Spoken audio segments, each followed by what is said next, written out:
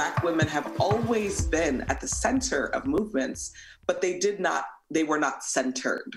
Um, they were not visibilized. And so we are changing that narrative. We are saying, and this is, you know, I have to give it to social media. It's really it's allowed black women to position ourselves and to remind people you can't take away the fact that we are the architects of this movement um, and i think that's really important i am an abolitionist. Um, i believe in uh, the uh, abolishing of prisons police jails detention centers ice surveillance and courts. Um, i think those entities have are vestiges of chattel slavery and um, they should we should have never entered into a prison system as we ended um, you know chattel slavery.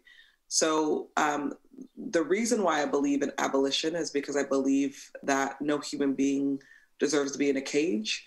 Um, i believe that we should have uh, autonomy over our bodies um, and our lives. And i believe that through abolition we can create uh, better institutions of care. Um, we can create a system of transformative justice, um, a system that really um, looks to the, the dignity of human beings.